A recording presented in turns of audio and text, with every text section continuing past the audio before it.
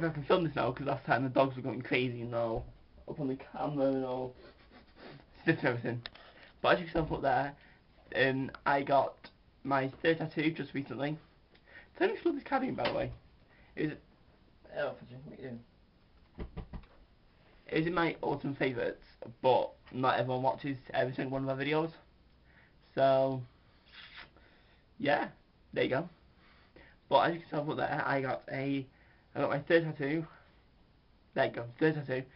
On, well, I got it like four weeks ago, but I got it finished off on Wednesday of last week.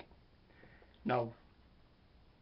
Yeah, last week, Wednesday last week, I got it finished off because it was a two-sitting tattoo, and um, yeah, I've got a tattoo.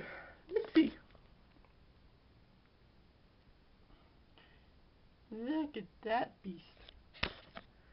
Look at that, Ruben.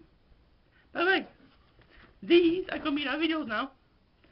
Because they come upstairs a hell of a lot and we're going to film with them. Because they're precious and they're cute and we've got three of them. So they're going to be in our videos at some point. But um, this, as, as well as showing off my new tattoo, which is completely fabulous. I wanted to wait until it was fully healed to do a tattoo on it because I didn't want to really show you a minging, peeling, flaky, red, bumpy, swollen, all that healing stuff tattoo. I didn't really want to do that because that's like, ew, my shoulder's your awful healing tattoo. What's the point of that? I don't know. But um, as you can tell, it's also a healing advice, a video tutorial hints and tips, advice. All I've been rolled into one really. I always never really have any kind of structure, you know, you guys know that. But it's a Fuji. but um when you get it oh. Daddy needs to be in camera TV. When you get it and they cling film Saran wrap it, whatever country you live in, whatever you call cling film or saran wrap or whatever, once you put all that stuff on and it's all like kept free from the elements and free from bacteria and all that awful stuff, you want to keep, they usually advise that you keep it on for just a couple of hours, but I keep it on for as long as I want really. If I feel it's right, to, if you feel it's right to take it off, then take it off.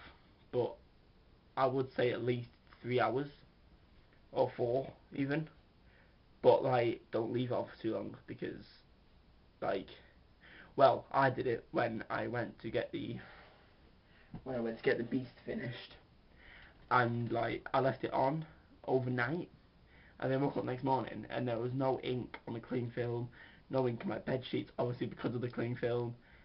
But I washed it and like like there was ink like built up on the tattoo like loose ink had built up and then gone all sticky. It's fine now, everything looks fine and healed perfectly.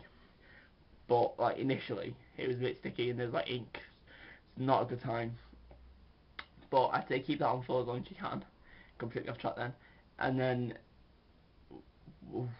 when I did with the shading from this one has healed like really really well, really really really well. Still a little bit dry in places and it could do with like a bit of cream but it's healed really well and no colours run or anything. So I just suggest do what I do because I I left it because it hurt like quite a lot because like shading does hurt and I had that done for like an hour and a half and because it hurt so much I didn't necessarily like wash it or put lotion on straight away because obviously it hurt, so I don't really put my hands up in there like, ow, ow. It wasn't worth it. So, um, well, I was a bit of a rebel, and I, I'll leave it. And I didn't bother straight away. Because I did, I didn't want to, because it hurt. But after that, I washed it twice a day. And then use whatever you use. I used